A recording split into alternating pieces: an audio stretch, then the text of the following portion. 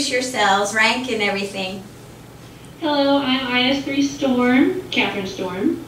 I'm Machinist Mate Nuclear First Class, Cameron Storm. Oh, I'm Intelligence Specialist Third Class, Catherine Storm. So what, that's what the IS means? That's what the IS means. Well, they say it means I steal because I steal everyone's information, but um, it actually means inte- intelligence specialist. Okay. And, and Cameron, what do you, what's your real job in the Navy? I'm in charge of being in the submarine in the engine room and making sure all the water is good so we can go places. And Katie, what did you do, or what do you do now? Well, um, I collect information um, and intelligence from around the world uh, to piece together the puzzle and try to be a fortune teller, basically. I'm trying to, to predict what everyone else is trying to do. Did you always do that, Katie?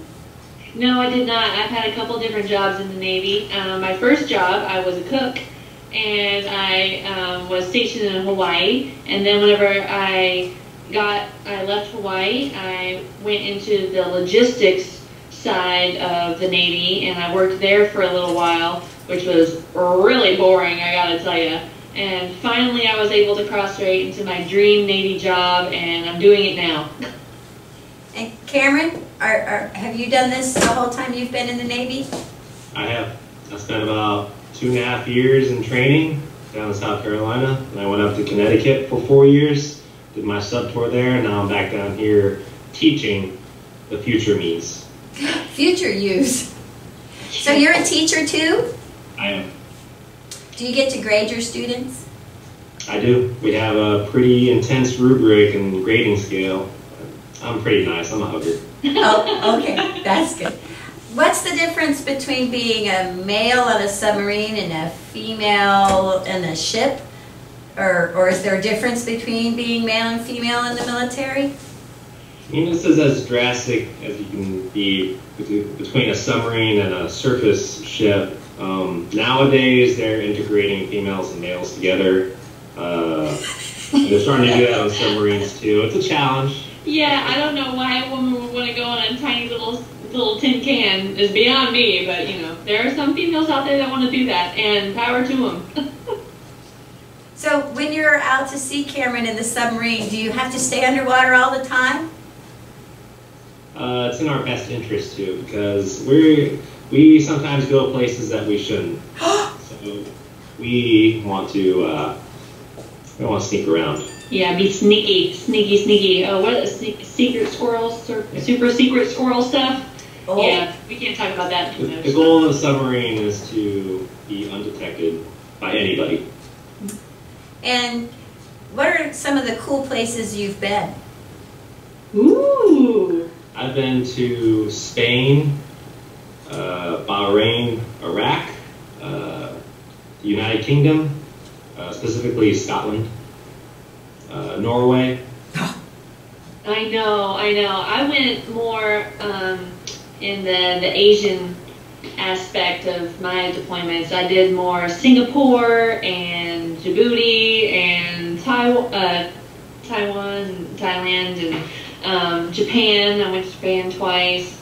Um, so I think uh, I think my favorite one. We both went to my favorite one. The um, oh my gosh, it just slipped my mind. The one with the the indoor ski ball and stuff. Oh man, It's not Bahrain. it's not Bahrain. Dubai? Dubai. Dubai, yes. Yeah, those guys have a lot of money. and it's very it's very pretty over there. Um, that was a lot of fun. They've got they've got more money than I think they know what to do with. So they just have a lot of crazy stuff. Is it hard being married and, and you go one way and he goes the other? You know what? I actually thought I thought that being on the ship was going to be the harder part, but I think being left home alone while he goes out to sea, I think that's the hardest. And I think he agrees whenever I have to go to my reserve duty and they send me away for my two weeks or my three months or wherever I go, being left at home is, is harder than going out because once once you get in a rhythm and you're at work, I mean, they keep you busy, and you really don't have time to miss as much as you do whenever you're at home and you're like, oh, he used to sit in the chair right next to me. Plus, when you're underway uh, on a boat, a hundred other people are going through the same exact thing. So Yeah, you can all be visible together. Which is what we do most of the time. Uh, and, and you have a newborn that's six weeks old today. Yep, So, we do. Little have- Theodore. Have either of you gone out to sea since he's been born, or do you, how do you imagine it's gonna be when you have to leave? Well, I, I'm gonna let Cameron tell about our plan for that. I will probably just ask off for work so I can take care of the baby when she inevitably goes back to work for extended periods. But I don't. I'm not going back out to sea. Yay! And that's how we planned it. We planned it so that he was going to be in shore duty, which the, the Navy gives you a couple years on and off for shore duty so that you can kind of plan for things like this for your family, which is uh, is nice so that you know, hey, we, we are going to be home for the next three years, so we're going to do what we can to maximize that time. So uh, pretty much as soon as we got here to South Carolina, that's when we started our family. So we're gonna have him at least for another year or two before we have to even think about that. I think. Oh, that's- well from his side. For me, the reserve, which we'll talk about the reserves a little bit more later, but it's a little trickier. You mentioned that you have some really cool awards in the background there. Oh, these are- are these are Cameron's for sure. Oh, what are they? Oh, they're just uh, certificates from my first deployment to the Middle East, where we went through each of the canals on our way down to uh, Saudi Arabia. Yeah, so he's got he has three of these. Um, I didn't bring them all out, but I just put some back here so that we could show those off. And some of my favorite things, one of my favorite traditions about the military. Uh, oh, never mind, they're all gone. Anyway, but one of our favorite things is uh, coin trading. Whenever you do something really amazing. Uh, while you're working with people, if they have a specific coin for their ship, which is this is the one for Cameron's last ship, um, That's really cool looking. amazing- Right, isn't it? So if you do something amazing, then the commanding officer or whoever designed the coin, they will give it to you. And it's just, it's awesome. We have we have quite a few. That was a big thing that I did while I was up in Connecticut was trying to, to gather up those as much as possible. So I wanted to show some It's of like those trying to get all the Pokemon in your trading card collection or something. gotta, gotta catch them all. Gotta catch them all. So what, why did you decide to join the Navy instead of the Air Force or the Marine Corps or the Army? Well, I'm gonna go first because I joined first. So um, I was I was in high school, and you know we're all sitting around trying to figure out what we want to do with our lives. And as you can probably tell from Miss O'Kennedy's wall, there are quite a few military shout-outs. And so I mean I come from a line of military tradition, and I think that's kind of the word that really closes up why I wanted to join was tradition. Not only the tradition for my family, but the tradition for the Navy was very appealing to me. They had the best training, the best education, and the best structure that um, I, I was looking for. Plus, they're they're not quite as mean and green as the Marines or the, the Army, which you can tell by the way we smile all the time. We're still pretty happy, so we'll stick with the Navy. I didn't want to eat crayons as a Marine or just be dumb as an Army person or sit around in a chair in the Air Force. So. Hey, people who might have army army parents out there. So Yeah, the most important thing about the Navy for me was uh, they really pushed for education, and I feel like I got my money's worth. Well, not my money's worth. Your my time's experience, worth. yeah, my time's worth uh, being in the Navy and uh, the the field that I'm in, the nuclear field, is one of the most respected programs throughout the uh, the nation. absolutely, you tell somebody that you're a nuke in the Navy, and they're like, "Wow, that guy's that guy has some brains." So, Katie, you said you were active duty and then you went to the reserves. When you got, uh, a lot of students look for the military because they have that great, you know, will help you out with college. Did you take advantage of that at all? Oh, absolutely. Um, whenever I whenever I went from active duty to reserves, the reserves gives you a, a little bit more free time. It's it's kind of like you you are on the sidelines of the baseball game. You're you're kind of sitting in the dugout, and while you're sitting in the dugout waiting to be put in the game, you can go to get a new job. You can start your family. Then you can go and go to college and get the education that you earned while you were in the military, and that's what I did. Um, I left Hawaii and I transferred to Charleston, South Carolina and I went to the Culinary Art Institute here in Charleston, and that's when I met him. Actually, he was going to his training at the submarine base at that time. So yeah, I, I did my college and I got my associate's degree, and I started my life with him. Did the Navy help you out financially at all with that? Oh, absolutely, and I would say that, I mean, probably 80% of the people who join the Navy, their number one reason is the monetary support. The, I mean, you just not only helping to guide you on how to build up your credit and how to keep that money um, where it's supposed to be, but they they support you so much in your education. They paid for all of it, all of it. I didn't. I mean, no debt whatsoever. That's really great. Do you have any advice to give any of the students, or would you like to say anything about Veterans Day in particular? Um, if it means anything, like November 11th at 11 o'clock in the morning, or anything like that? I think uh, all of you should really consider doing at least uh, one contract through any military branch, uh, especially Navy. Yeah. Uh, yeah, it'll a you won't be debt free. You'll be debt free whenever you get out, and you can do your college and whatever you want to do. Uh, you'll get real life experience. You get to see the world. Um, they'll, Absolutely. They'll teach you how to adult. Like Mhm. like you go to college right after high school. If some kind of career that you don't think you really want to do, and you commit, go into debt, and then you're just regretting it. Uh, so if you if you go to the military, it's you can't go wrong. Yeah, it's it's a great way to start out. Even if you give it, you know, four years or three years, even. I mean, it's it started. I mean, it was very very challenging, no doubt. But I don't. I don't. I do not regret it uh, a single day. I am glad that I did it. I'm glad that I pushed myself through it. There's no way that Cameron and I would be here in this beautiful house that we're with our baby and our dog. There's no way that we would be where we are today if it wasn't for the military. Where, where's Thunder? Thunder is being a very good hound dog. we tired him out this morning. He's up taking a nap with Teddy. Oh, okay. All right. Do you have any other? Uh, what does Veterans Day mean to them? Uh, What does Veterans Day mean to you? Right, right, right, right. It, it's a it's a day for me to reflect back on all these questions that we've been talking about today, the tradition, and I I mean, of course, I always I always think back to my grandfather. I always think about where it started for me. I always think about how I used to look up to him, and I still do.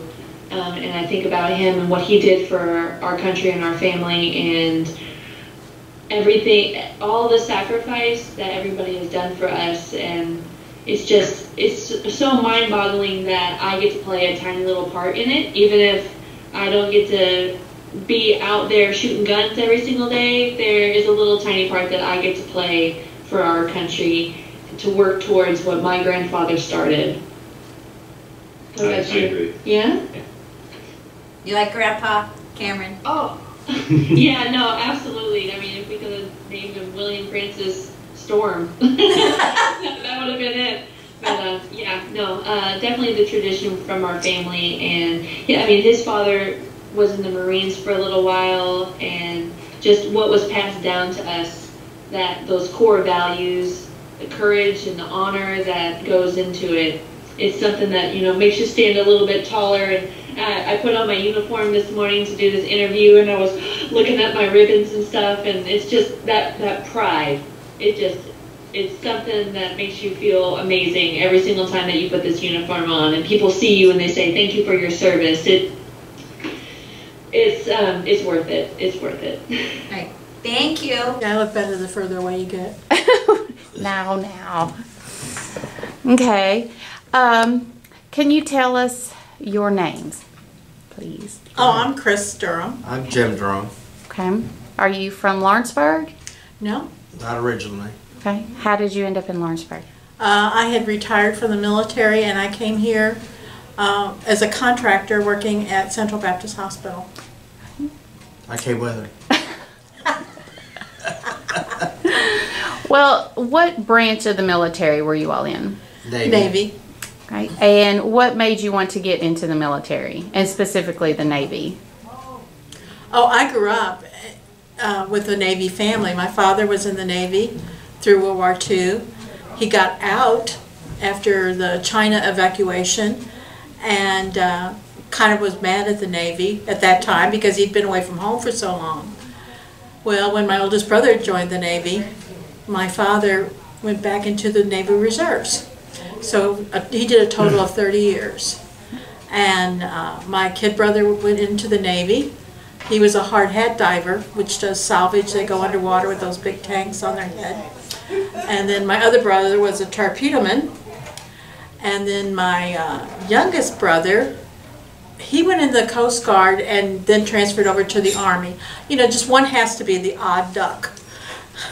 And so I went in, and it was, um, I started out in the reserves, but I was a single mom. And uh, the Navy really offered me the opportunity to provide for my kids and give them health care and everything. So I went active duty, and I was uh, administration type. So it was kind of like a nine to five job. I enjoyed it. And it gave me a lot of benefits. My story's not the same. Oh no.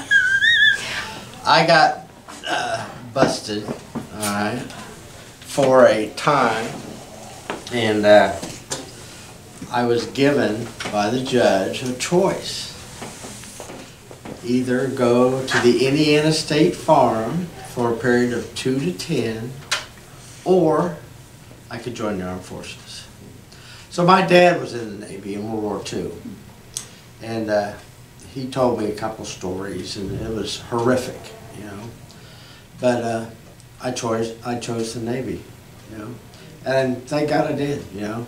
Uh, a lot of my friends that were in in Indianapolis at the time are they're gone or they're in prison, you know. So I ran around with a bad crowd. So the Navy really saved my life. That's that's awesome story. That is. Maybe we should have that option more often. I think.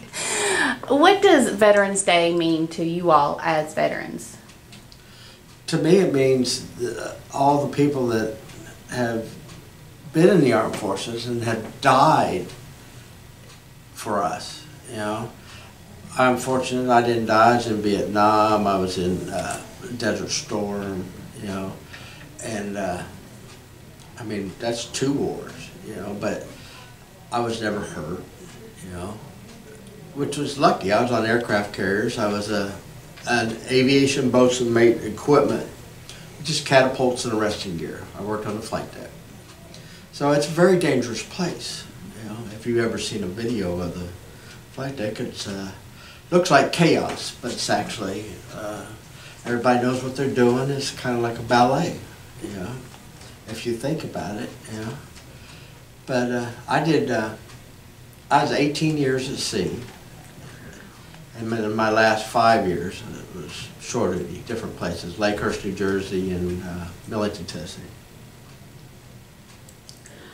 I will tell you a short story.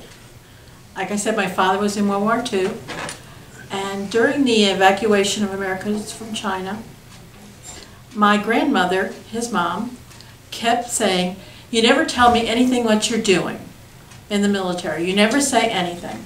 So my dad wrote her a letter, and the letter was published in the newspaper.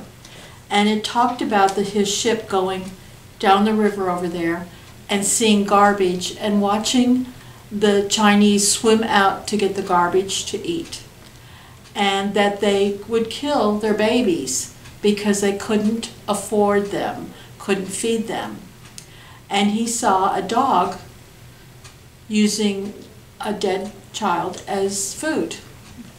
And when he got done, he says, That's it. You can either believe it or not, but that's the truth.